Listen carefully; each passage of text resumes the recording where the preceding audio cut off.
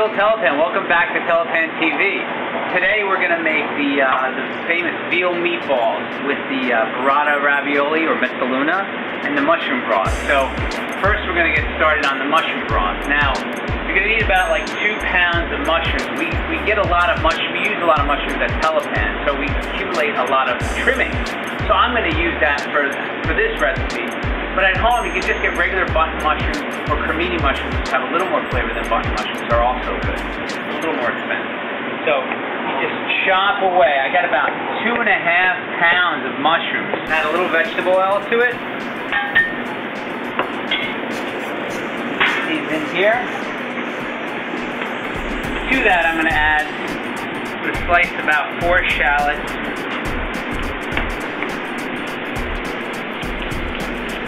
four garlic. I'm to add this to the pot also.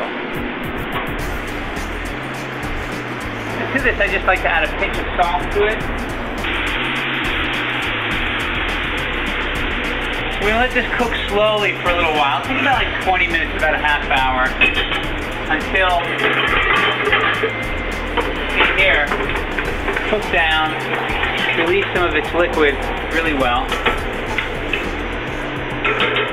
Some stock to that. And we'll just bring that up to a boil. And the key ingredient is Parmesan rind for this recipe. This adds a nice flavor for any dish. If you're gonna make like a pasta out of it, or even for a soup, you know, we want to add a little cheese to the end, you know? So while that's cooking, we're gonna do the meatball. This is a, a mix of pork and uh, grass-fed beef that we're using here. So we take a couple pounds, and to that, we're gonna add, take some breadcrumbs and a little heavy cream, and let that soak for a minute. We're gonna take a little garlic. Just gonna uh, take our trusty microplane here. If you don't have one of these, you can just mash it with a fork. Well, I mean, with a knife and a little uh, little salt. Works great. Got that. We're gonna take some eggs, crack them into the bowl. Don't try this at home with the back of a spoon. It's only for professionals. And then to that, we're gonna add, you just put everything together. A little Parmesan cheese, some chopped parsley, add the breadcrumb mix, and a really good amount of salt. All right. And then, if you don't have a KitchenAid at home, you can just sort of mix it by hand. But we're gonna put it into the KitchenAid to mix it up. The reason I like to put it in the KitchenAid is just because it really beats it really nicely. So here we go.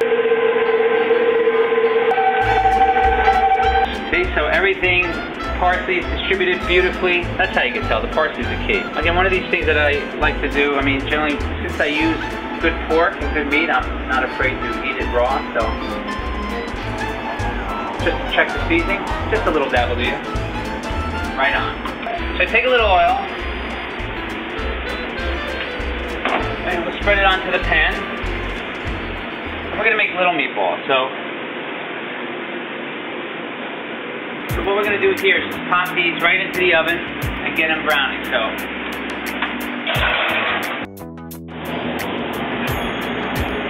you want to see if they're like sort of uh, cooked through by just pressing on them. If they're a little firm to the touch, they're ready to go. So we took them out after about four minutes or so, according to my calculations.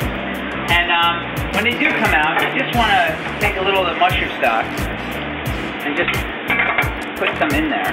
I have some uh, burrata mezzaluna that we make. So it's a little half moon shaped pasta that we serve with this. Add a little mushrooms to that.